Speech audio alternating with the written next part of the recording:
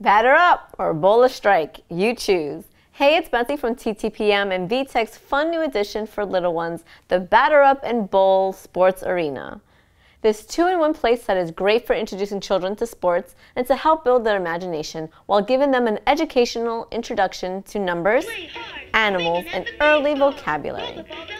They can choose from baseball and hear encouraging phrases and sounds, or choose bowling to knock down pins and see adorable peekaboo animals pop up when a pin has been hit. You got two points.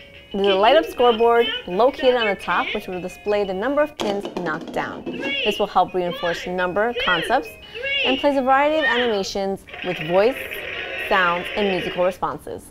To start another game of bowling, your child will need to pull the bowling reset lever to hide all the animals and reset the pins.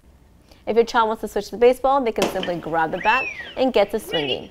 The ball is attached to the top of the arena. The sensor behind the baseball reacts when the ball is hit and plays encouraging phrases and fun sounds. With over 65 songs, melodies, sounds, and phrases, your child will enjoy spending tons of time perfecting their craft.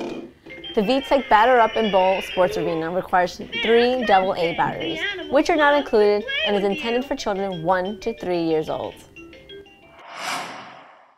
For where to buy and current prices, visit TTPM and subscribe to our YouTube channels for more reviews every day.